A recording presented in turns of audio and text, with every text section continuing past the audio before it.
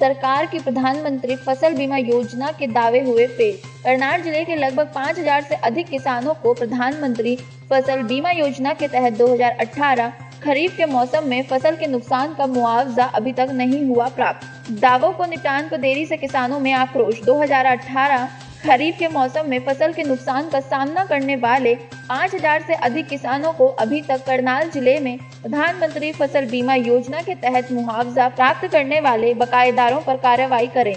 उनके बैंकों द्वारा लिपिकीय गतिविधियों के कारण बीमा कंपनी ने लगभग चार किसानों के दावों को खारिज कर दिया है।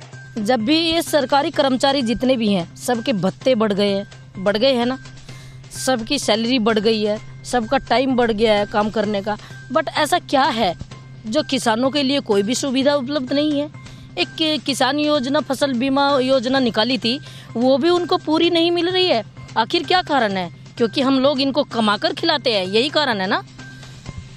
देखिए, हमारा कहना यही है कि जब हर सरकारी कर्मचारी की सैलरी बढ़ रही है, भत्ता बढ़ रहा है, टाइम बढ़ रहा है तो आखिर एक किसान पे भी एक रहम की बरसात हो सकती है, अगर हमारे मोदी साहब चाहे तो। अच्छा कर लो। और कंपनी में मज़े में और सरकार भी मज़े में। क्यों फिफ्टी फिफ्टी बांट लें? तो किसान को क्यों देंगे? और मोदी जी तो ये कह रहे हैं कि मेरे को कहते हैं कि मोदी पूंजीपतियों का आदमी है। उसने तो छाती ठोक कर कहा है पाँच पूंजीपति इधर खड़े थे, पाँच इधर स्टेज पर छाती में हाथ मार कर कहा कि मैं छाती ठोक के कहता हूँ, मैं पूंजीपतियों का आदमी हूँ। तो किसान को कैसे देगा बेचारे को? ये जी मुआवजा तो जब मिला, ये देना चाह इनकी तो पॉलिसी ये है कि भाई रुपया बिल्कुल प्राइवेट कंपनी और ये चार से अठारह कैसे होगी? लूटने के लिए तो आती हैं वो। भाई, ये तो देना तो कुछ नहीं, आया आएगा।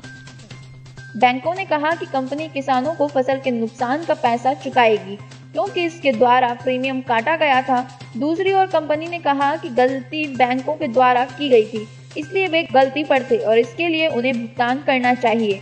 दावों के निपटान में देरी से किसानों में आक्रोश पैदा हो रहा है। देखिए, प्रधानमंत्री फ़सल बीमा योजना एक बहुत ही महत्वाकांक्षी योजना सरकार की। ये वर्ष 2016 में शुरू हुई थी। उसको शुरू हुए अभी चार साल कंप्लीट हो चुके हैं।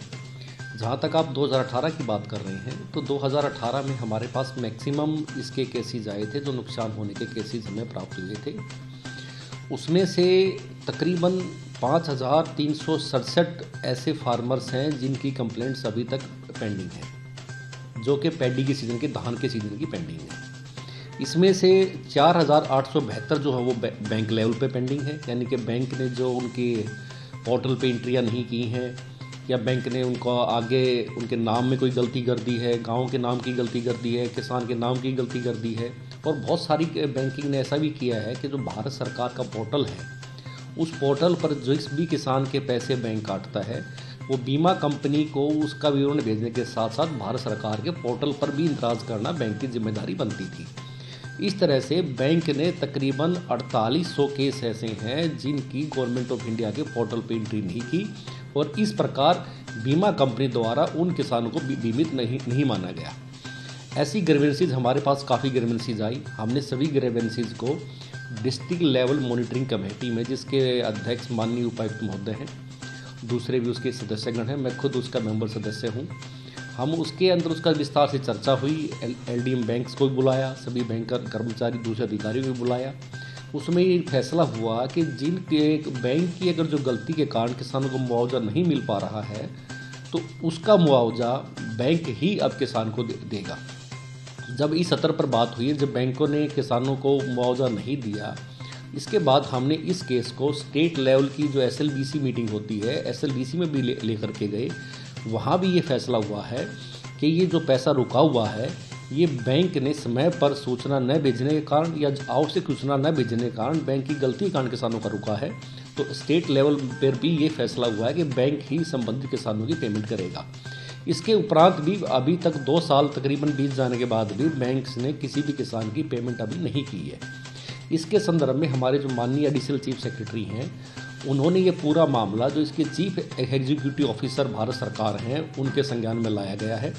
और जो बैंकों की एक संचालन समिति है रिज़र्व बैंक ऑफ़ इंडिया है, उनको भी इस बारे पत्र लिखा गया है कि आप सभी बैंकर बैंक्स को जिन जिन बैंक्स में ये किसानों का बीमा हुआ था, उन सभी किसानों को, उन सभी बैंकों को आदेश दें कि वो, उनकी तुरंत जो उनकी भरपाई है, वो बैंक से माध्यम से भरपाई करवाई जाए।